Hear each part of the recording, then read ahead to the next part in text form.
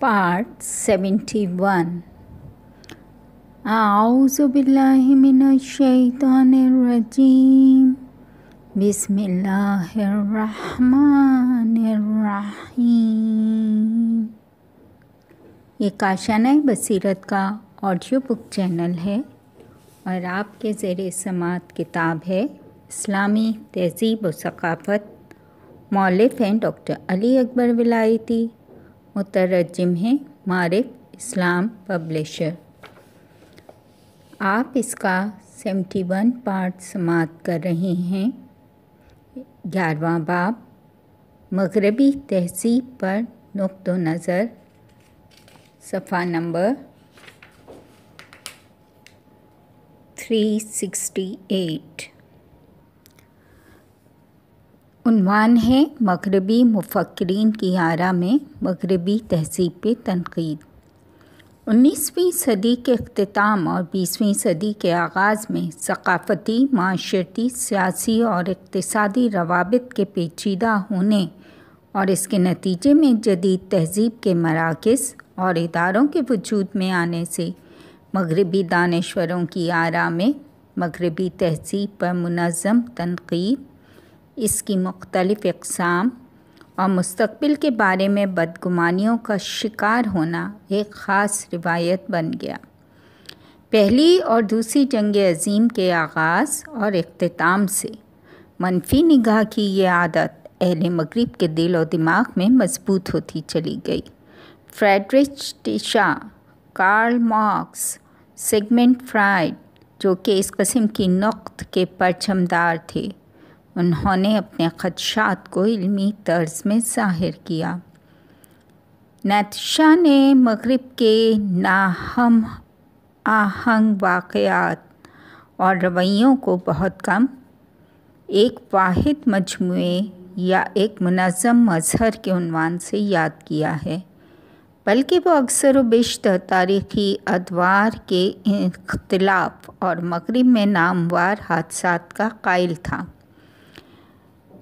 नेटशा की नज़र में मगरब की तारीख़ में ज़री हिस्सा महदूद और एक ख़ास दौर में मुनहसर है, जबकि मगरब की तारीख़ के बाकी अदवार इनहतात और तबाही के अदवार हैं। पाँचवीं और छठी सदी कबल मसीह नेटशा के ख़्याल में मगरब का ज़री दौर था। इसके ख़्याल के मुताबिक यूनान की कदीमी तहज़ीब के ज़वाल के साथ ही मगरब के ज़वाल का दौर भी शुरू हो गया था। नेच्छा कदीम यूनान के रूज की वजह से ज्यूनेसी यानी कि खुश रहने के एहसास का इस तहज़ीब में नुमाया होने को बताता है। वो इन एहसास को असली यूनानी मिजाज और यूनानियों का ज़िंदगी की रंगीनियों को हाँ समझ, कहना समझता है। लेकिन एपुलानी एहसास के पैदा होने को, जो सुरूर, वजद और ज़िंदगी के एहसास के मुतजाद हैं, सुकरात के अफकार से मंसूब करता है और मगरब में अकली रुझानात के आगाज़ की मुखालफत करता है। मार्क्स ने मगरब की आदाद व शुमार में गिरी जहनीत की मुखालफत की।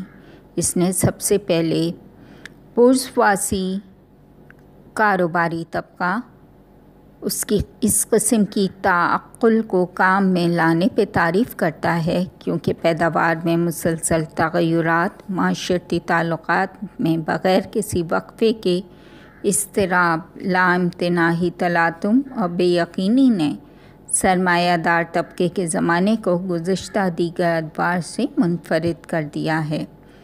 लेकिन इस दौर का नुक्स दर हकीकत यहाँ है कि ताजर तबके की अंदरूनी ज़िंदगी और मुसलसल तगैरत और तनहू की ये इस्तात बज़ात ख़ुद इस तबके को ही महव कर देती है। हम इस जदीलियाती तगैर का इनफरादी ज़िंदगी में इतना ही मुशाह कर सकते हैं जितना इकतसादी तगैर का। ऐसा निज़ाम जिसमें तमाम बहमी रवाबित कमज़ोर और आर्जी हों तो सरमायादाराना ज़िंदगी की खसूसियात, यानी ज़ाती मालकियत और उजरत, मामलात की कदर कीमत और मुनाफा कैसे अपनी जगह पे कायम रह सकता है? जब लोगों की आरजुएँ और ज़रूरियात, सरकशी और नाफरमानी की राह तलाश करती हूँ और ज़िंदगी के तमाम शोबों में मुसलसल और बेहम तगैरत मौजूद हों। इन्हें कौन सी चीज़ ताजर तबके के तयशुदा हदूद के अंदर रखे? जब भी पोरजवाई माशरा अपने अफराद को ज़्यादा हसासियत और बेचैनी से मुश्तिल करता है कि वो या तो तरक्की करें या मौत को गले लगा लें तो ज़्यादा इम्कान यही है कि वो ख़ुद अपने माशरे को ही रून डालेंगे। जब भी मुश्तिल लोग अपने माशरे को अपने लिए रुकावट समझते हों और उसके ख़िलाफ़ उठ खड़े हों तो वो अंतिक अंदाज में सरमायादार तबके के ही झंडे तले इस तबके के ख़िलाफ़ जंग करेंगे, यानी तबक़ाती तजाद वजूद में आएगा ही। इसलिए तो सरमायादारी, यानी मगरबी तहसीब, अपने अंदरूनी तजाद की बिना पर जवाल का शिकार हो जाएगी। फ्राइड ने इंसान के लाशूर को कश्फ करके इंसान के अपने आप से इश्क पर ज़रब लगाई। इस इनकशाफ ने इस जदीद इंसान की वो सूरत मगरब को दिखाई कि जो बीसवीं सदी तक पिन्हा रही थी। फ्राइड की निगाह में तहसीब ना सिर्फ़ इंसान की माशरती ज़िंदगी को, बल्कि इसकी हयाताती ज़िंदगी को, और हयाताती ज़िंदगी के फ़कत बाज़ हिस्सों को नहीं, बल्कि जिस्मानी ज़िंदगी और इसके गराइस के मुकम्मल निज़ाम को महदूद कर देती है। लेकिन इस कस्म की महदूदियत और जबर, तरक्की और पेशरफ की सबसे पहली शर्त है। दर हकीकत इंसानी नफसानी ख्वाहिशात को मुक़ैद करने से इसकी तहजीब व तमदन की यकजहती और वहदत की ज़मानत फराहम की जा सकती है। फ्राइड कानून लज्जत को पीछे छोड़ते हुए कानून हकीकत से पैबस्तगी को इंसान के इज्तमाही और तारीख़ी वजूद में एक मोड़ से ताबीर करता है। वो बताता है कि गराइज़ नफसानी ख्वाहिशात पे ईमान रखने वाला इंसान अपनी खसूसियात मसला इन ख्वाहिशात को बरह रास्त पूरा होना, आसूदगी और लज्जात का हासिल होना और किसी रोक टोक का ना होना वगैरह। के बाद एक हकीकत पसंद इंसान की सूरत में तब्दील हो जाता है, जिसकी खसूसियात में ख्वाहिशात का फौरी पूरा ना होना, लिजात के हसूल से इज्तनाब, काम, पैदावार और अमन व सुकून जो रोक टोक और दबाव के वज़ हासिल हों शामिल है। कानून हकीकत के सामने आने से वो इंसान के जो पहले कानून और लज्जत और हैवानी गराइस के ताबे था, अब अपनी मार्फत व हकीकत से आगाह एक वजूद में तब्दील हो जाता है और अपने आप को खारजी हकीकत तले छुपे असूल व के मुताबिक ढाल लेता है।